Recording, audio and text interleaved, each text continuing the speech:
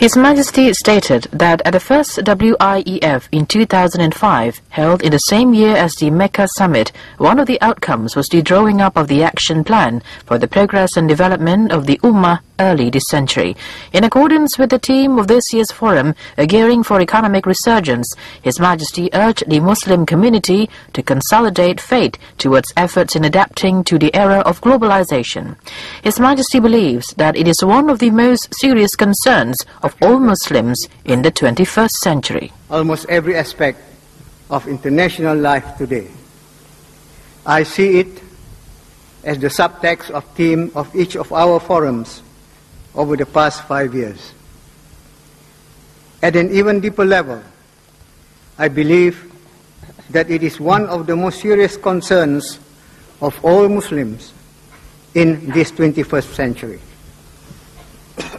By this, I refer to what has been given the popular title of globalization. The word is part of everyday life, and almost everyone has his own interpretation. Some rejoice in it, some regret it, some even condemn it. What I think we all agree on here, however, is that it presents a clear challenge to Muslims.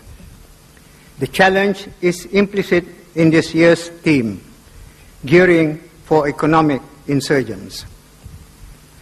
This, I believe, does not involve seeing how we can adjust or adapt our faith to a new set of realities.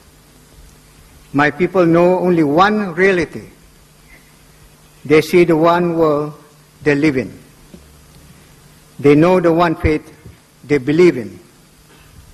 In other words, they are already globalized, just as Muslims have always been for nearly one and a half thousand years.